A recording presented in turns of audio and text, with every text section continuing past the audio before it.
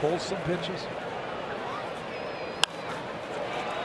And juggled by Kinsler, and now here comes Polanco, and they're lucky to get Mauer.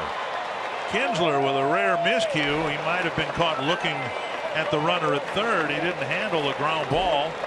Couldn't have been a bad hop. It was hopping through the grass right to him, and Polanco gives the Twins a 2-1 lead.